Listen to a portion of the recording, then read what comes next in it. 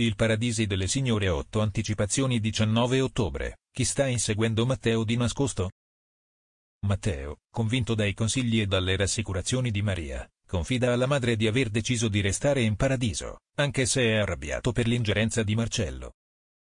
Tuttavia, quando viene dimesso dall'ospedale, Portelli non si accorge che qualcuno lo sta seguendo e non sembra avere buone intenzioni.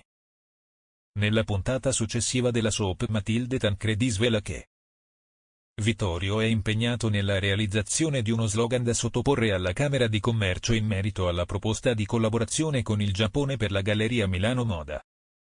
Io ho offerto la mia collaborazione. Matilde decide di non tenerlo segreto a Tancredi, ma come reagirà Sant'Erasmo? Alfredo finirà per indebitarsi per Irene nella puntata di giovedì? Alfredo?